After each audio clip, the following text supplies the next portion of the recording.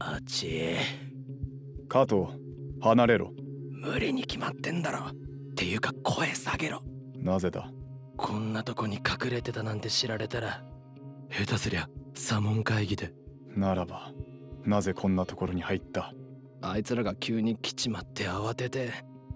なんだそのとっさにってやつだ。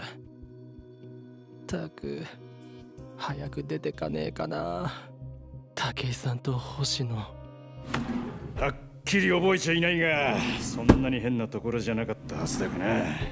なかなか見つからなくてお手数をおかけしてすみません